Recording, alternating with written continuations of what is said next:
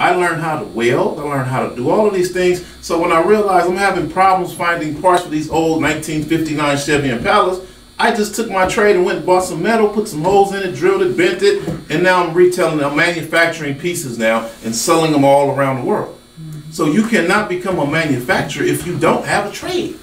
We get knocked out of the box every time we come up with a multi-billion dollar idea. We have to take it to someone who don't look like us, who don't want us to have the idea, and say, "Can you make this?" And they're going to say, "Oh, you're going to pay fourteen thousand dollars just to patent that." So, oh, we don't have fourteen thousand to patent it. So they say, "We'll give you twenty thousand for the idea, while we go make a billion dollars off of it." But if we put our children back into trades, when we come up with an idea for a brand new mic, because I know it works better than the ones that are here, I'm going to go over here and make it myself.